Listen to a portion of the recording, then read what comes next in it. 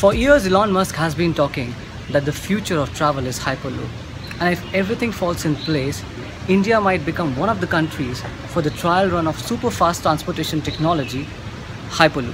And, and to talk more about this, I have with me uh, Bibop Gresta, co-founder and CEO of Hyperloop Transportation Technology. Thank you, Bibop, for speaking to BloombergQuint. And it's a pleasure. So tell us what is Hyperloop and is it true to actually travel at a hair-raising velocity? Yeah, we're actually um, conceiving a transportation system that is capable of traveling at 1,223 kilometers per hour.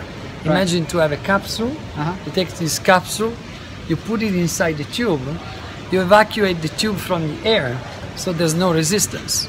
Now, because you can actually levitate it without using any energy, using the passive levitation, you can push the capsule and move it at almost the speed of sound using a minimal amount of energy.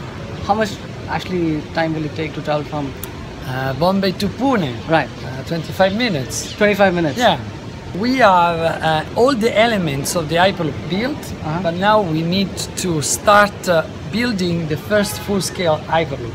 Okay. that will be um, already uh, in discussion with several governments. All right. And, and you're also in talk with the Abu Dhabi government to build a Yeah. first uh, track. Tell us about that. So, with the Abu Dhabi government, we signed a uh, feasibility study Okay. to build the track between Abu Dhabi and Al Ain. Right. And this is the first possible route that we are looking also then to build the, the full-scale floodway.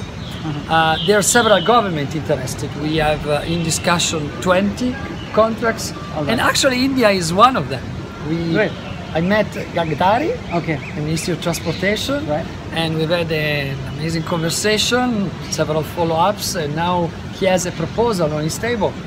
Okay. So you're, you're saying that if that proposal is passed, India could actually have a trial run running. I'm saying that if uh, the proposal passes, uh, we can start a feasibility study. And how much time will it take? Uh, if the if you get the proposal, uh, how much time will you take for the feasibility study? Well, it depends on various factors. Let's say from the moment we get a conditional permit approved, we will have 38 months before having the first passenger.